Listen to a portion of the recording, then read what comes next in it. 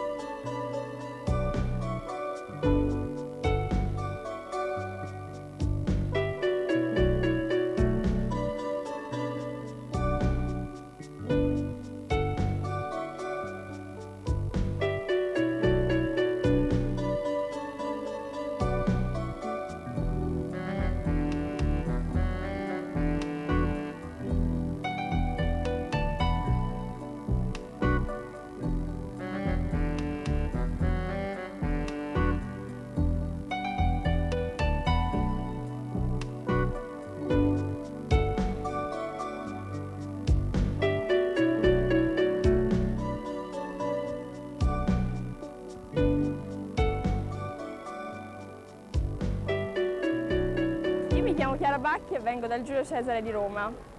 Dunque, per me questa esperienza è stata non solo piacevole, ma anche gratificante, perché eh, so, da anni io sentivo parlare del certamen ciceroniano come un traguardo insomma, da raggiungere effettivamente. Interessante proprio anche conoscere gente straniera, perché poi è un certamen aperto a tutta l'Europa.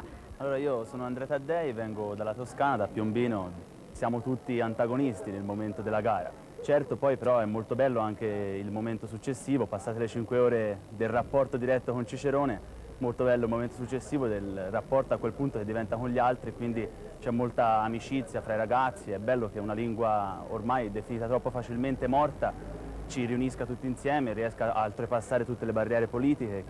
Allora io sono una studentessa del liceo classico di Arpino e siamo nella dodicesima edizione del certamen, un'occasione bellissima per tutti noi arpinati ma anche per i ragazzi che, che partecipano alla gara di, di, nazionali, di, nazionalità italiana e straniera. Abbiamo socializzato in maniera veramente eccezionale anche tra di loro.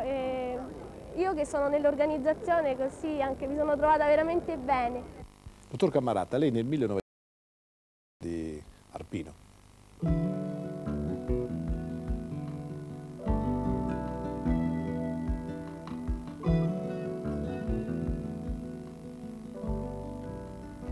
Salve, sono Ana Arroyo de Domingo e provengo dal liceo spagnolo Cervantes in Roma e frequento l'ultimo anno. Ma io sono spagnola e sono nata a Burgos.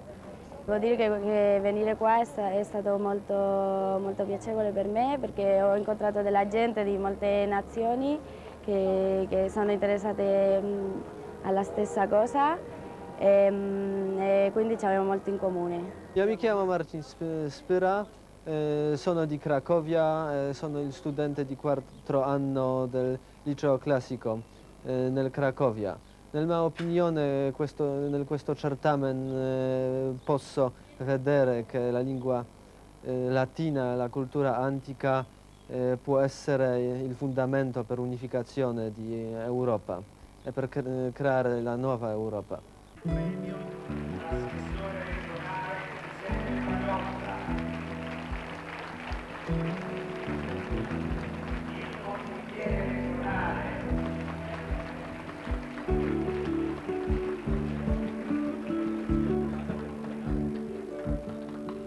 La vincitrice del primo premio, l'alunna è la studentessa Chiara Povero del liceo Corporato di Pinerolo, Torino.